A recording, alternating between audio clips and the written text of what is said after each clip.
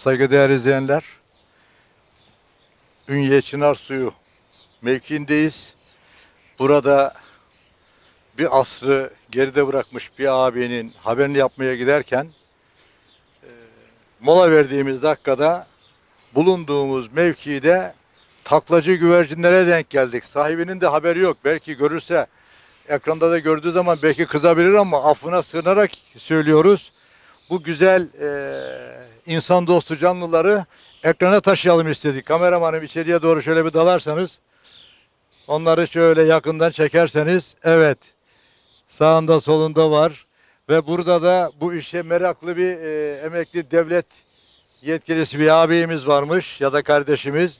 Kendisini kutluyoruz böyle güzelliklere e, memleketimizde imza attığı için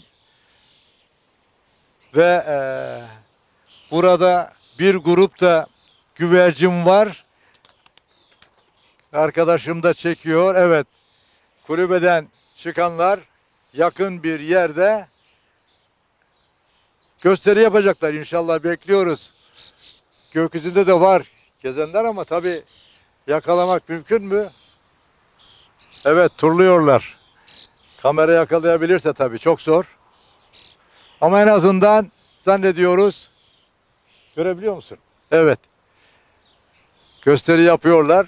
Bir grup da e, binanın çatısında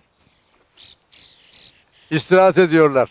Diyor e, ilgilenenlere saygılar sunuyoruz.